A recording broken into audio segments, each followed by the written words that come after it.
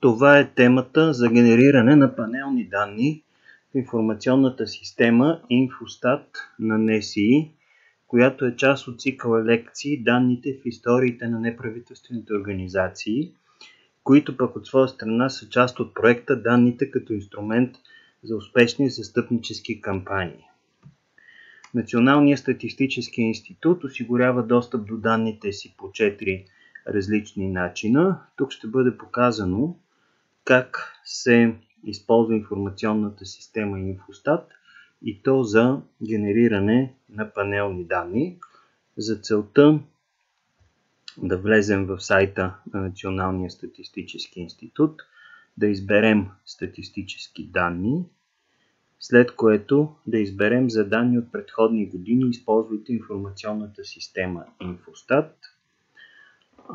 да изберем област, например демографска и социална статистика, да изберем тема и подтема, например раждаемост и да изберем съответния индикатор, например раждания по пол, местоживеене, статистически райони, области и тип на раждането.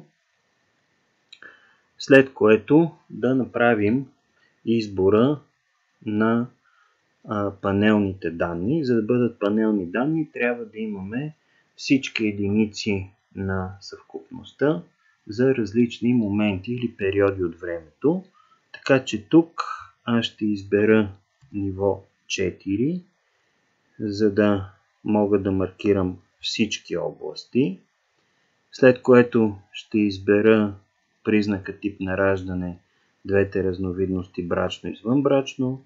По признака местоживеене ще избера двете разновидности в градове в села признака пол ще избера двете разновидности момчета-момичета и за да бъдат данните панелни трябва да имаме повече от един момент или период от времето. Затова ще избера всички години от 2000 до 2021, след което ще а, избера заяви. След като излезе таблицата с данните, отново се вижда, че тя не отговаря напълно на структурата на панелните данни, защото за да бъдат данните панелни, трябва по редове да са единиците и времето, а признаци да са по колония. Тук се вижда, че има признаци, които също са по редове. Т.е. вида на раждането брачно и извънбрачно е разположен по редове. За да преструктурирам таблицата, избирам промени изгледа, премествам типа на раждането в дясно по колони и също така, за да отговаря напълно на структурата на панелни данни, трябва единиците да бъдат преди времето, така че ще маркирам НУЦ, което са областите, и с стрелката нагоре ще ги преместя преди времевата разбивка. След което натискам приложи и затварям този допълнителен прозорец. По този начин данните вече отговарят на структурата на панелните данни.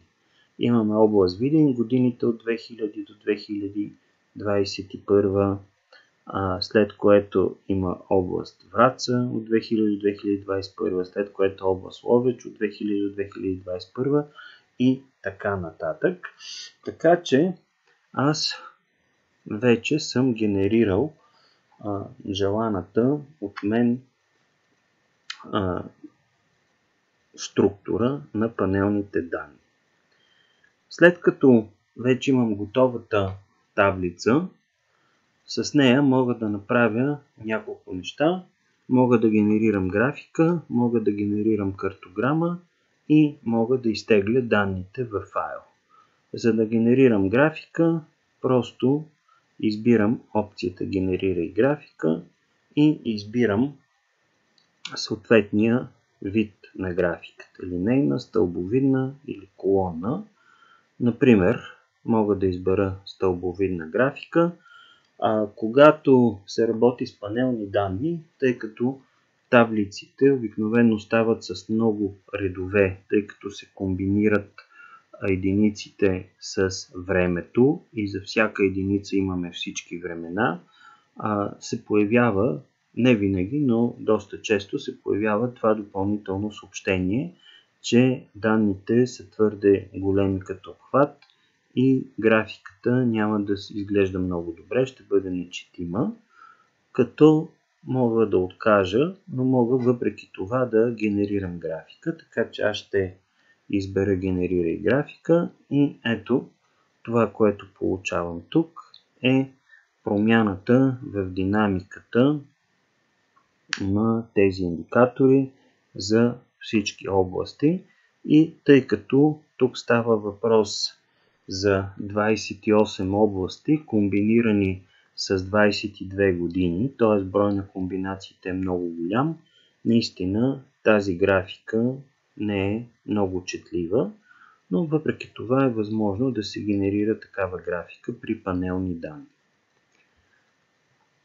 Мога да генерирам и картограма по области, но тук има две особености. Едната особеност е, че ако сега избера области, ще се появи предупреждение, че данните не са подходящи за този вид графика и тя не може да се а, генерира. Причината е в множествения избор на признаците. За да мога да генерирам картограма, трябва да се върна назад в екрана за настройките и да избера от всеки признак само по една разновидност. Ако имам повече от една разновидност на признака, тогава картограмата не се генерира. Разбира се, отново трябва да избера заяви.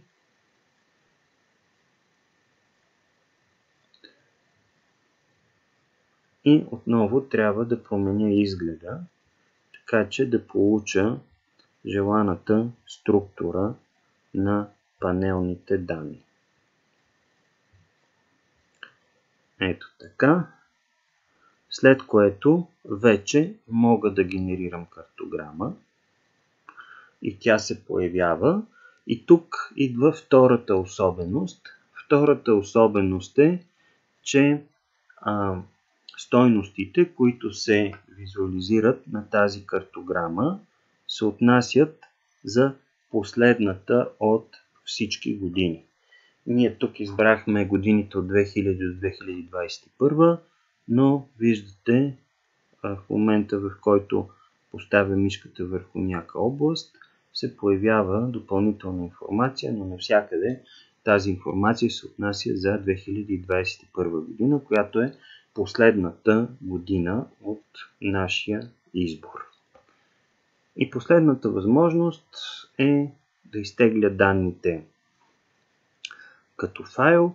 За целта отново ще се върна един ход назад в прозореца за настройки и ще избера и другите разновидности на признаците.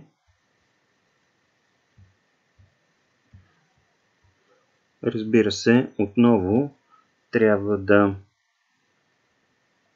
променя изгледа, за да съответства таблицата на структурата на панелните данни. Да избера приложи, да затворя този допълнителен прозорец, след което изтеглям файла в различни формати, най-често в формат Excel и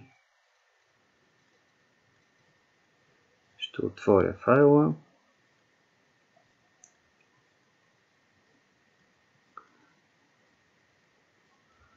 Този файл съответства на структурата на панелните данни и ако трябва да се преработи така, че да може да се използва за специализирани софтуери, тази обработка обикновено е минимална и отнема малко време.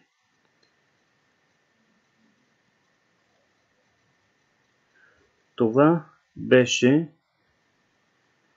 темата за генериране на панелни данни чрез информационната система Инфостат на Националния статистически институт.